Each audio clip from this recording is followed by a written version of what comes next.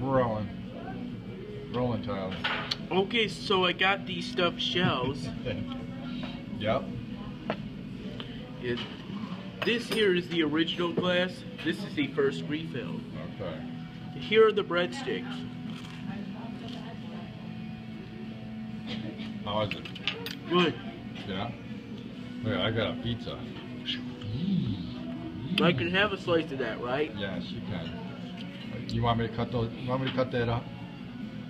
After one bite. All right. Might be hot. Actually, on second thought, I like eating it like this way. Okay. All right. Mm-hmm. But we need to get to the stuffed shells. You might have to cut it, Ty. It's ricotta. The ricotta is good. Yeah. Cut ti- All right. That's the pasta.